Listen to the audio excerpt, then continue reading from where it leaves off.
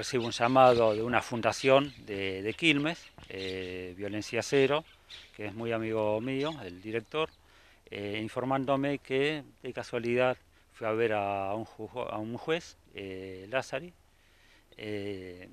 porque bueno, querían hacer una jornada acá en la costa justamente, y querían convocarlo a este juez como para que diserte y dice, bueno, mira, yo no voy a poder estar presente ya que eh, estoy con la causa de, de, Mateu, de esta nena. Ahí sorprendido pregunta, claro, ¿qué, pasó? Y bueno, dice, mira, hoy tuve que atenderlo a uno de los reos, eh, que, el cual me vino a solicitar una ampliación de visitas y em, un traslado de, a, otra unidad. Eh, bueno, obviamente con el tema de ampliación de visitas se la denegaron, el cambio de unidad Sí, se lo concedieron, ya que bueno, estaba en Florencio Varela, se lo trasladó a Junín.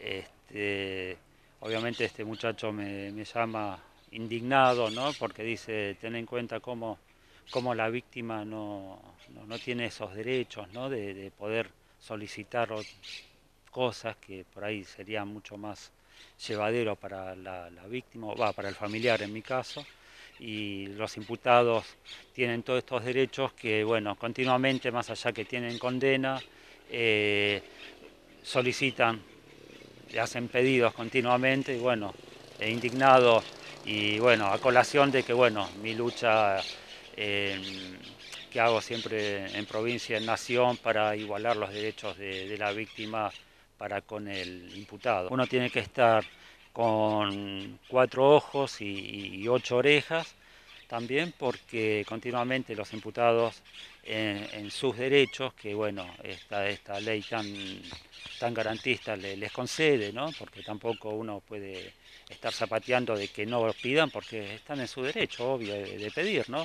No así eh, la víctima o el familiar de víctima no estamos en igual de condiciones y es por eso es que eh, la semana pasada se estuvo tratando en la Cámara de Senadores, eh, va más que nada tratándonos, sino se estuvo exponiendo familiares de víctimas sobre eh, una nueva ley que estaría, si Dios quiere, a punto de, ejecutarse sobre asistencia a la víctima. Sobre, la, sobre todo esta ley esta apunta al patrocinio gratuito, y después hay algunos artículos que eh, garantizarían más beneficios para la víctima.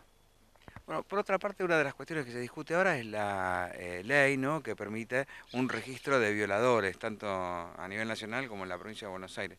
Digo, ¿qué, qué opinión tienen eh, los familiares de víctimas en relación a lo que se está debatiendo? Sí, bueno, esta es una ley que, que en su momento no, nunca se, logró ejecutar. Caso ahora, bueno, a raíz de todos estos hechos de público conocimientos graves, que tantos femicidios, violaciones que hubo en el conurbano, eh, se reflotó esa ley, se está tratando nuevamente, este, y bueno, y esperemos que en breve nuevamente se pueda, esta vez sí, ejecutar eh, y que haya un, un banco de, datos genéticos, ¿no? de, ADN, y que bueno, en el cual obviamente va a tener acceso el Ministerio Público y los juzgados solamente, ¿no? que podrán pedir o solicitar eh, esos, esos datos. No va a tener acceso, no va a ser eh, acceso libre para el público, obvio. Algunos hablan de que piden que haya un listado público, o sea, que se en Internet quiénes son los que tienen antecedentes. Sí, un poco más complejo. Eso sería para cabezas mucho más abiertas, me parece, para un, eh, ciudadanos más, eh, para otro tipo de comunidad, ¿no? Eh, creo que en Estados Unidos, de hecho, se, publican cuando hay un violador en, un pueblo, en un barrio, ¿no? Este, avisando a la ciudadanía, pero bueno, acá las leyes son otras y las garantías y los derechos hacia el imputado, los tratados internacionales, este, es lo que lo benefician y bueno, se agarran de eso como para no, no poder ser publicados dicha información.